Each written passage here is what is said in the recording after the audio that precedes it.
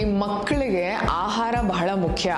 ಆದರೆ ಆಹಾರದ ಜೊತೆಗೆ ನಿದ್ದೆನೂ ಮುಖ್ಯ ಅಂತ ನಮ್ಮವರಿಗೆಲ್ಲ ಮನದಟ್ಟು ಮಾಡಿಕೊಡ್ಬೇಕಾಗಿದೆ. ಯಾಕಂದರೆ ಈ ನಡುವೆ ಮೊಬೈಲ್ ನೋಡಿಕೊಂಡು, ಟಿ ವಿನಲ್ಲಿ ಅದು ಇದು ನೋಡಿಕೊಂಡು ಮಕ್ಕಳು ನಿದ್ದೆ ಬಹಳ ಕಮ್ಮಿ ಮಾಡ್ತಾರೆ. ಇದು ಯಾಕೆ ಅಫೆಕ್ಟ್ ಆಗುತ್ತೆ? ಹೇಗೆ ಅಫೆಕ್ಟ್ ಆಗುತ್ತೆ? ನಿದ್ದೆ ಮಕ್ಕಳಲ್ಲಿ ಇನ್ಕ್ರೀಸ್ ಮಾಡೋ ಹಾಗೆ ಏನು ಮಾಡಬೇಕು ಅಂತ ಟಿಪ್ಸ್ ಕೊಡಿ. ಒಳ್ಳೆಯ ನಿದ್ದೆ ಮಕ್ಕಳ ಬೆಳವಣಿಗೆಗೆ ಸಹಕಾರಿಯಾಗುತ್ತೆ.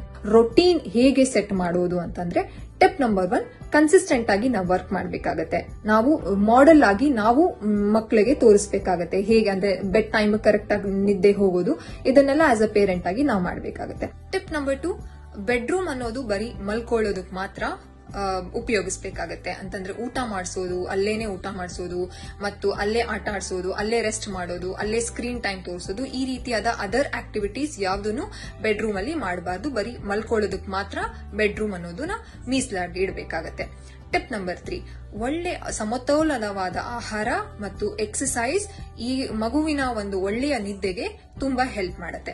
ಟಿಪ್ ನಂಬರ್ ಫೋರ್ ಮಗು ಮಲ್ಕೊಳ್ಳೋದಕ್ಕಿಂತ ಮುಂಚೆ ಒಂದು ವಾರ್ಮ್ ವಾಟರ್ ಅಲ್ಲಿ ಮಗುಗೆ ಸ್ನಾನ ಮಾಡಿಸಿ ಮತ್ತು ಮಲ್ಕೊಳ್ಳೋದಕ್ಕಿಂತ ಮುಂಚೆ ಮಗುಗೆ ಒಂದು ಬೆಡ್ ಟೈಮ್ ರೀಡಿಂಗ್ನ ಬುಕ್ ರೀಡಿಂಗ್ನ ಇಂಟ್ರೊಡ್ಯೂಸ್ ಮಾಡೋದ್ರಿಂದ ಮಗು ನಿದ್ದೆ ಚೆನ್ನಾಗಿ ಮಾಡುತ್ತೆ. ಇದರಿಂದ ಮಗುವಿನ ಆರೋಗ್ಯಕ್ಕೆ ತುಂಬಾ ಒಳ್ಳೆಯದು